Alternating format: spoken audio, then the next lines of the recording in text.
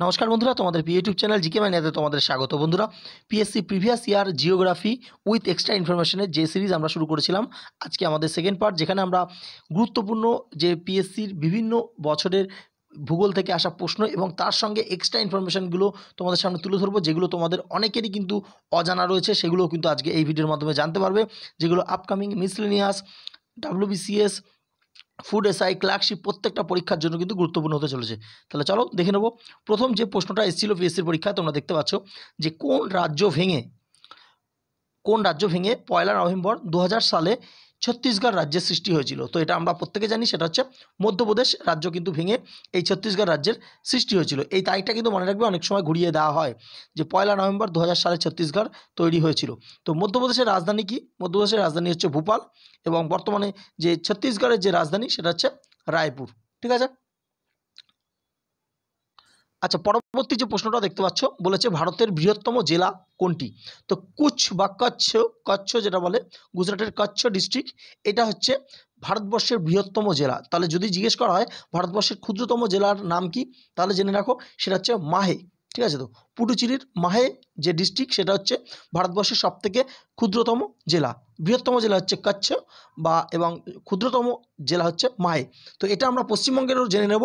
পশ্চিমবঙ্গের যদি বলে বৃহত্তম জেলা কোনটি, সেটা হচ্ছে সাউথ চব্বিশ পরগনা বা দক্ষিণ চব্বিশ পরগনা। আর যদি বলে ক্ষুদ্রতম জেলা কোনটি, সেটা হচ্ছে কলকাতা, যেটা পশ্চিমবঙ্গের ক্যাপিটাল ঠিক আছে? নেক্সট আমরা দেখে নেব তিন নম্বর প্রশ্ন কি জানতে চেয়েছে, যে ইম্ফল কোন রাজ্যের রাজধানী? তো ইম্ফল কি? ইম্ফল হচ্ছে মণিপুর। যে রাজ্য রয়েছে ভারতের নর্থ ইস্টার্ন রাজ্য, তার রাজধানী হচ্ছে মণিপুর। তো বিভিন্ন রাজ্যের রাজধানী কিন্তু গুরুত্বপূর্ণ হয়ে যাচ্ছে এবং পরীক্ষা আসছে, দেখতে পাচ্ছি আমরা। নেক্সট চার নম্বর প্রশ্নটা, এটা আগের দিন ভালো করে বুঝিয়ে দিয়েছি, যে চ্যানেলগুলো যেগুলো পরীক্ষা আসে। তো আশা করি তোমরা এটা বুঝতে পারছ যে দশ ডিগ্রি চ্যানেল যেটা আন্দামান এবং নিকোবর আইল্যান্ডকে পৃথক করেছে, তো এটা হচ্ছে দশ ডিগ্রি চ্যানেল বহুবার পরীক্ষা রিপিট হয়। নেক্সট পাঁচ নম্বর প্রশ্ন দেখতে পাচ্ছ, নিম্নের কোন রাজ্যের দুটি রাজধানী রয়েছে। তো এখানে চারটে অপশন ছিল, আমরা যেহেতু উত্তরটা নিয়েছি, তো উত্তরটা হয়ে যাবে জম্মু কাশ্মীর। তো আচ্ছা এখানে তোমরা দেখতে পাচ্ছ যে, দেখো জম্মু কাশ্মীরের কিন্তু দুটো রাজধানী আছে। একটা হচ্ছে গ্রীষ্মকালীন, একটা হচ্ছে শীতকালীন। গ্রীষ্মকালীন রাজধানী হচ্ছে শ্রীনগর এবং শীতকালীন যে রাজধানী, তার নাম হচ্ছে জম্মু। তো এই দুটো কিন্তু তোমরা মাথায় রাখবে। একটা হচ্ছে গরমকালের রাজধানী, একটা হচ্ছে শীতকালের রাজধানী। কারণ সেখানে শীতকালে কিন্তু প্রচুর যে বরফ জমে যায় বা তুষার জমে যায়, কাজকর্ম করা যায় না, তার জন্য গ্রীষ্মকালীন এবং শীতকালীন যে রাজধানী কিন্তু দুটো করা হয়েছে। ঠিক সেরকমভাবে লাদাখ যে নতুন ইউনিয়ন টেরিটরি হয়েছে, তারও কিন্তু দুটো ক্যাপিটাল রয়েছে। একটা সামার ক্যাপিটাল বা গ্রীষ্মকালীন, যেটা হচ্ছে লে এবং উইন্টার ক্যাপিটাল সেটা হচ্ছে কার্গিল। ঠিক আছে তো? তো এখান থেকে আমরা আরও জেনে রাখব যে উত্তরাখণ্ড, উত্তরাখণ্ডেরও কিন্তু দুটো রাজধানী। একটা হচ্ছে সামার ক্যাপিটাল তার নাম হচ্ছে কি? ভ্যারিসাইন এবং যে উইন্টার ক্যাপিটাল সেটা হচ্ছে দেরাদুন। ঠিক আছে? এছাড়া আরও আমরা দুটো জানব, সেটা হচ্ছে হিমাচল প্রদেশ। হিমাচল প্রদেশেরও গ্রীষ্মকালীন যে ক্যাপিটাল তার নাম হচ্ছে সিমলা এবং উইন্টার ক্যাপিটাল হচ্ছে ধরমশালা। এবং এখানে তোমরা দেখতে পাচ্ছ, দেখো, কর্ণাটকেরও রয়েছে, কর্ণাটকের যে সামার ক্যাপিটাল হচ্ছে ব্যাঙ্গালোর এবং উইন্টার ক্যাপিটাল হচ্ছে বেলগাঁও। নেক্সট এখানে তোমরা দেখতে পাচ্ছ মুম্বাই। মুম্বাইয়েরও কিন্তু যে সামার ক্যাপিটাল মুম্বাই এবং যে উইন্টার ক্যাপিটাল নাগপুর। এখানে তোমরা মাথা রাখবে, যদি যে ডাইরেক্ট মহারাষ্ট্রের রাজধানী জানতে চাওয়া হয়, তাহলে কিন্তু মুম্বাই হবে, ঠিক আছে তো? এবং মহারাষ্ট্রের যে দুখানা ক্যাপিটাল কিন্তু রয়েছে, একটা হচ্ছে মুম্বাই, একটা নাগপুর, ঠিক আছে তো? কিন্তু ডাইরেক্ট জানতে চাইলে সেটা কিন্তু মুম্বাই। যদি বলে দেয় গ্রীষ্মকালীন কি শীতকালীন, আলাদা করে স্পেসিফাই করে দেয়, তাহলে কিন্তু গ্রীষ্মকালীন বললে মুম্বাই এবং শীতকালীন হলে নাগপুর হবে, ঠিক আছে তো? মহারাষ্ট্রের রাজধানী মুম্বাই, মাথায় রাখবে। পরবর্তী প্রশ্ন তোমরা দেখতে পাচ্ছ যে ভাষার ভিত্তিতে প্রথম রাজ্য, এটা তো বহুবার পরীক্ষা এসে তোমরা জানো যে অন্ধ্রপ্রদেশ কিন্তু ভাষার ভিত্তিতে প্রথম রাজ্য হয়েছিল, যেটা ফার্স্ট অক্টোবর উনিশশো তিপ্পান্ন সালে হয়েছিল। এটা কিন্তু বহুবার পরীক্ষায় জানতে চাওয়া হয়। নেক্সট ভারতের দক্ষিণতম বিন্দু, এটাও দেখতে পাচ্ছ রিপিট প্রশ্ন আগের বার, আগের দিনের তে এসেছিল, সেটা হচ্ছে ইন্দিরা পয়েন্ট। এবং যদি মেইন ল্যান্ডে বলে, তাহলে কোনটা? সেটা হচ্ছে কন্যাকুমারী, মাথায় রাখবে। নেক্সট হচ্ছে আট নম্বর প্রশ্ন, গুরুত্বপূর্ণ, যে ভারতের আয়তন বিশ্বে কততম? ঠিক আছে তো? তো আয়তনে ভারত কিন্তু সপ্তম রয়েছে। অর্থাৎ সাত নম্বর স্থানে আছে। আর আমরা দেখে নেব যে সাত নম্বর অর্থাৎ এক থেকে ছয় পর্যন্ত বিশ্বের কোন কোন দেশগুলো আছে সেটা একবার ম্যাপের সাহায্যে দেখে নেব, যাতে আমাদের ভালো মনে থাকে। হ্যাঁ এখানে তোমরা দেখতে পাচ্ছ, দেখো ম্যাপের সাহায্যে প্রথম রাজধানী, প্রথম যেটা সব থেকে বড় দেশ সেটা হচ্ছে রাশিয়া। এই যে রাশিয়া, দ্বিতীয় হচ্ছে কানাডা। এই হচ্ছে কানাডা।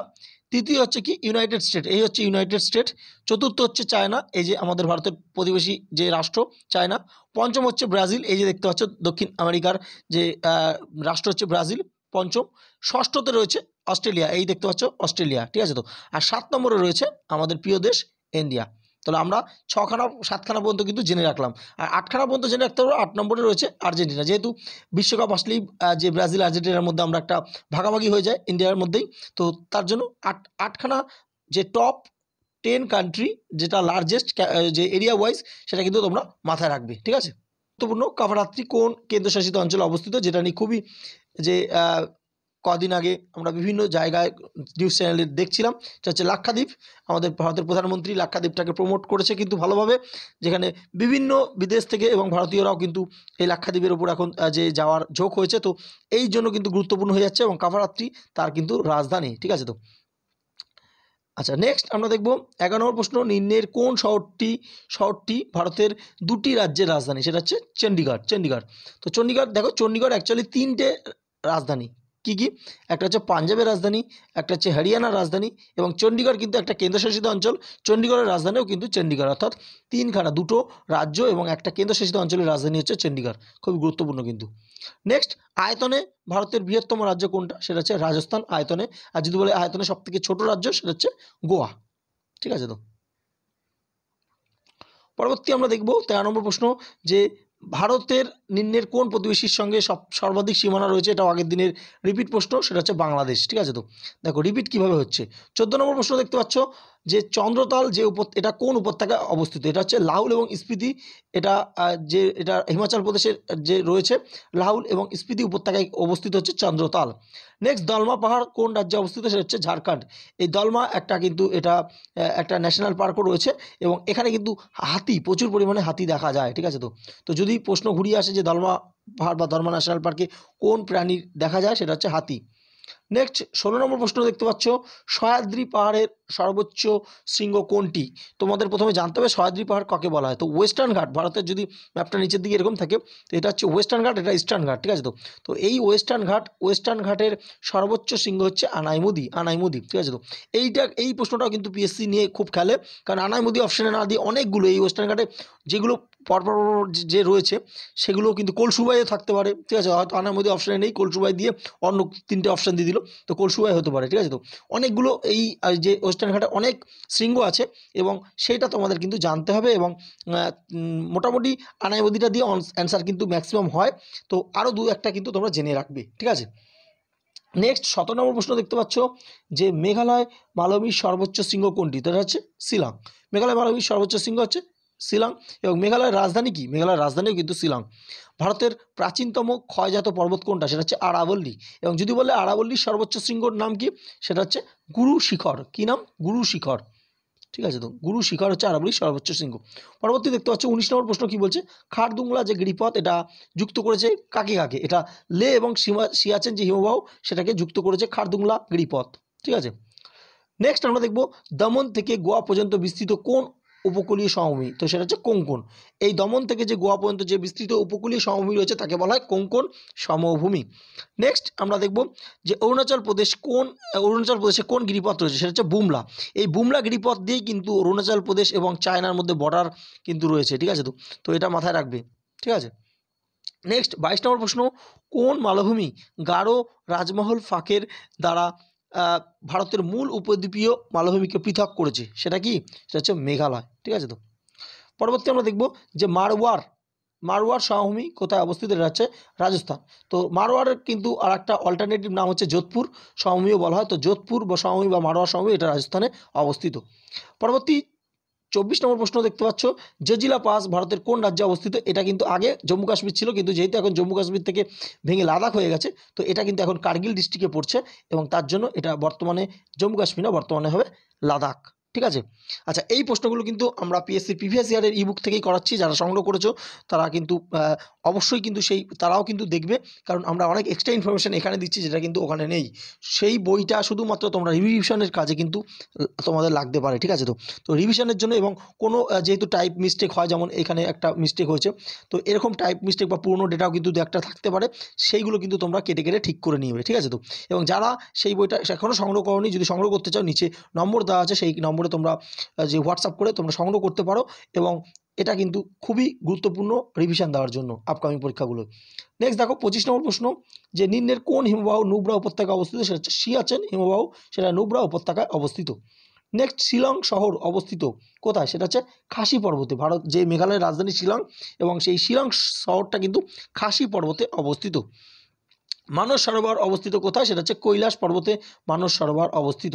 তোমাদের কাছে একটা প্রশ্ন, আমাদের যে মানস সরোবর থেকে কোন নদী উৎপত্তি হয়েছে, এটা তোমরা কমেন্ট সেকশানে অবশ্যই কিন্তু জানাবে, ঠিক আছে তো? নেক্সট লাক্ষাদ্বীপ পুঞ্জ কি? লাক্ষাদ্বীপ হচ্ছে প্রবাল দ্বীপপুঞ্জ এর জন্য এটাকে কিন্তু কোরাল আইল্যান্ডও বলা হয়? কারণ প্রবাল যে বা কোরাল দিয়ে কিন্তু এই লাক্ষাদ্বীপ তৈরি হয়েছে দ্বীপপুঞ্জটা ঠিক আছে তো? নেক্সট আমরা উনত্রিশ নম্বর প্রশ্নটা দেখে নেব যে ভারতের উচ্চ গাঙ্গীয় সমভূমি ভূর হলো এক প্রকার কি? ভূর হলো এক প্রকার বায়ু দ্বারা সঞ্চিত বালির তরঙ্গায়িত ভূমি হচ্ছে ভূর, ঠিক আছে তো? তো এটা কিন্তু এইভাবেই কিন্তু প্রশ্নটা এসেছিল। আচ্ছা নেক্সট তিরিশ নম্বর প্রশ্ন দেখতে পাচ্ছ যে একটি সংকীর্ণ ফালি যখন দুটি বৃহৎ ভূভাগকে যুক্ত করে, তাকে কি বলে? তাকে বলা হয় ইস্তুমাস এবং আর কিন্তু আর বলে দিতে পারে যে দুটো ভূভাগকে যুক্ত করে এবং দুটো জলাশয়কে পৃথক করে দেয়, সেটা কিন্তু ইস্তুমাস তাহলে ইস্তুমাসের ছবিটা আমরা একবার দেখে নিই, তাহলে আমাদের মাইন্ডে কিন্তু ভালো করে থেকে যাবে।